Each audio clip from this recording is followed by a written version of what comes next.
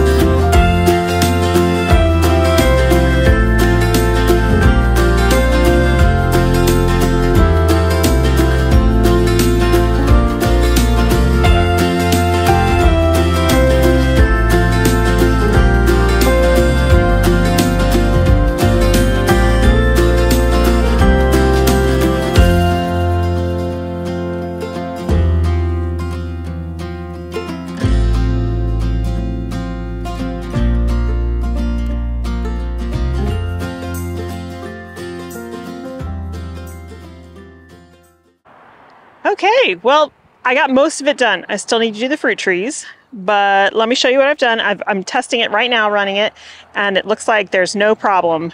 Uh, we have so much pressure on this system that um, I was pretty sure I wouldn't run into any difficulties in stringing lots of uh, long runs of uh, drip tubing. So let's start over here. So from here, you can see I've got, it, it looks like four runs, but what it is is two. It starts here goes down and comes back here. So it's a closed loop and the same with that.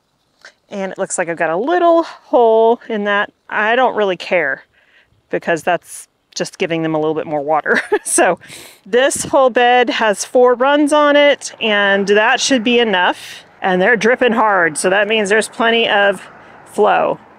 And then here, I poked one hole here and we've got uh, solid tubing, so it has no emitters in it, that runs to here, where it then picks up with emitter tubing and um, comes all the way down here. I again spliced it with non-emitter tubing uh, going through the pathways here so I'm not wasting water in a pathway. Um, and then picked it back up and it's definitely giving plenty of water. This one goes around here and back up and around and down. This is all one system and then back up and it ends right here. So that's a very long run for that.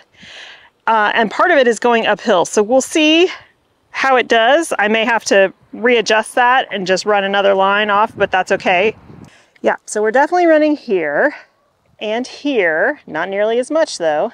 I think kind of looks like it stops, like it doesn't really seem to be coming out here. So I think what I'll do is I'll cut this off down there somewhere and then run a fresh line uh, for this run right here. And I'll be going down and it'll be just fine.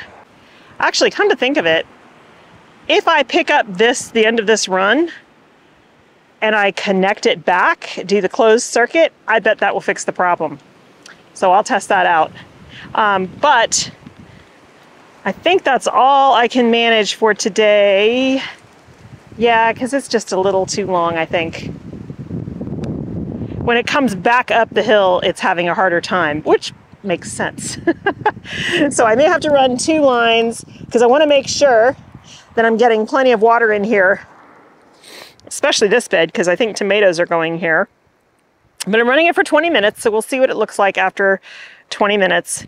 But yeah, I think what I'm gonna do right now is try to attach the end here, instead of that being an end, attach it back uh, to the main line and see what happens, because that might increase the pressure. Yay, that fixed the problem.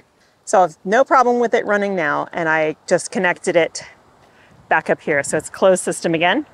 I do need to dig up, dig a trench and bury all this stuff so nobody trips over it. Same thing with down here, but I don't have time to worry about that today. Last bit of irrigation that I need to run is I need to tap into the main line up here again and run uh, solid tubing to here where I'll then put in uh, not emitters. Well, maybe I will because there are actually dahlias in here in between all of these uh, trees. So maybe I will just run two uh, lines of emitters, one down and one up.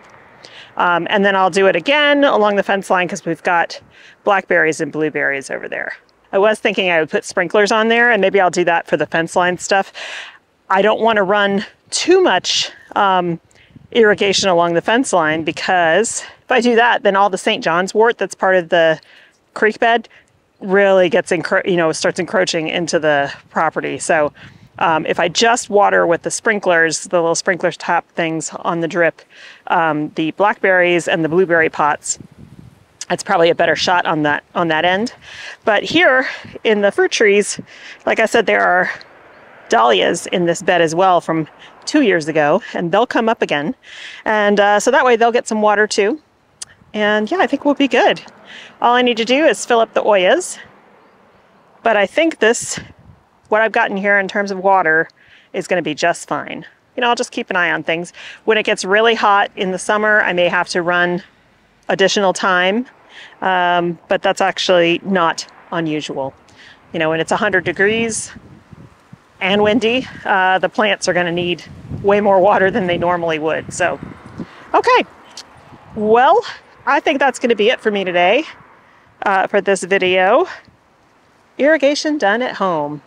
I'm very happy. Well, not completely done. I still have to do the fruit trees, but that's okay. That won't take too long. Um, but everything else is good. Yeah, I just got to bury these lines so nobody trips. And then we're set. And I like that I can see it dripping. There's plenty of pressure. Thanks so much for hanging out with me today, you guys. I really appreciate you, and I hope you have a wonderful time in your garden, and I'll see you in the next one. Bye.